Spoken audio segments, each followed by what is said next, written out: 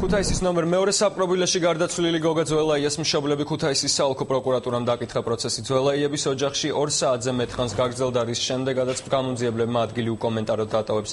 დაკითხულების განმარტებით კი საგამოძიებო ორგანო გარდაცვლილის ხელწერით და მისი ჯანმრთელობის მდგომარეობით დაინტერესდა. ძველაიების ოჯახი დარწმუნებულია რომ პატიმარს თავი არ მოუკლავს ისინი ობიექტურ გამოძიებას ითხოვენ წინააღმდეგ შემთხვევაში მიცვალებულის დაკრძალვას არაპირებენ.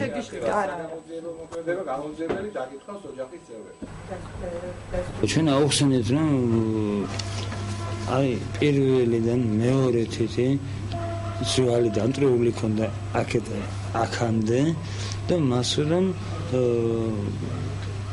კინა ედო ახალი შეიძლება ხელი ქონდა აი ასეთ მდგომარეობაში.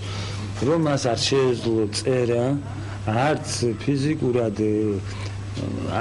ხელის მოქმედება ელემენტარულად წინებს ვერ იცნობდა და შნულს აიგრეთ და შნულს ვერ ირნებდა. თასმას ვერ ირნებდა.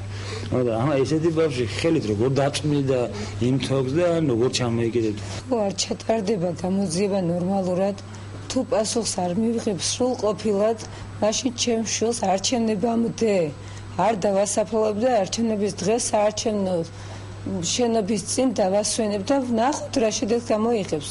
მაშინ მაინც იმოძრავებენ ალბათ რაღაცა იქნება.